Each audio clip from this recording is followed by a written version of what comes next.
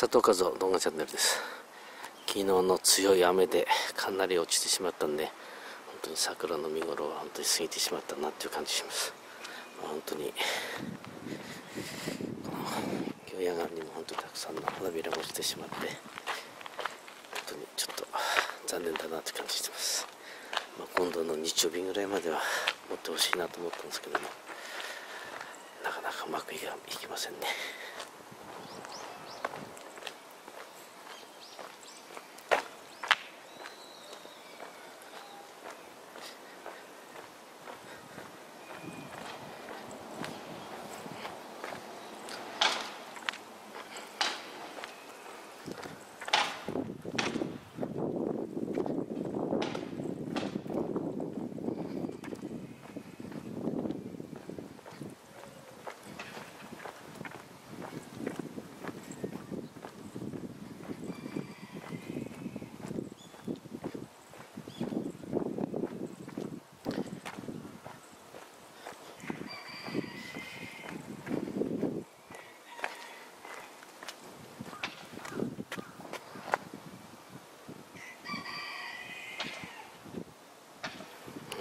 なり